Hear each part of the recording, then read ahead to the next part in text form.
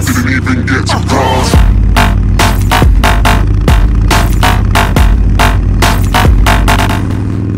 What is going on, YouTube? It is Cruising with Capps here. Once again, thank you for tuning in.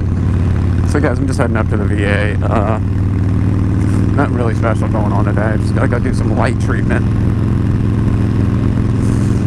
Basically, it sounds weird. It sounds like they're gonna like put like a probe on you, right?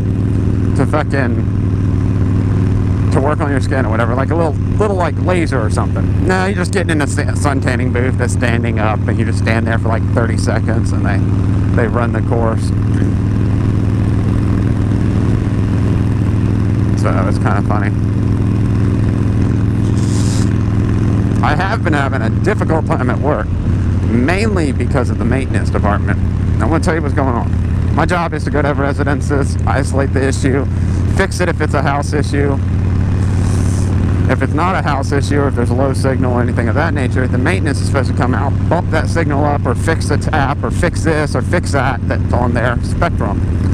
All they've been doing is canceling the tickets. They haven't been going out, so it's extremely frustrating. And you know, this isn't just happening to me. We we had a couple other guys quit because they just got tired of the bullshit, and I see why. I mean, honestly,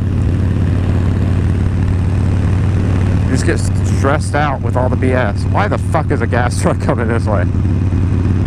But uh, yeah, it's extremely frustrating because you know it gets me off the job if it's not my department. You know, as I say. Anyway, so the maintenance department's been just pissing me off a lot.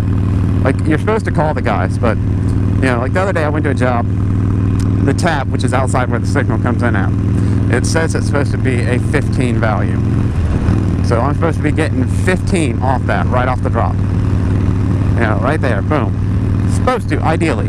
We got four people hooked up to it, so we, we give about four dBs per, roughly, for those people to drop off. Maybe six at the most, but that's still a little low. Anyway, I was getting a six on the tap.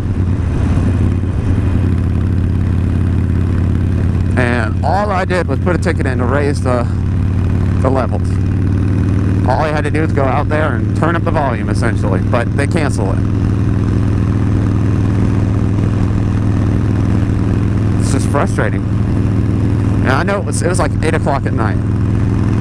And I even drove up the block before I put the ticket in and synced my meter and did everything I was supposed to do because I couldn't get a good connection where I was.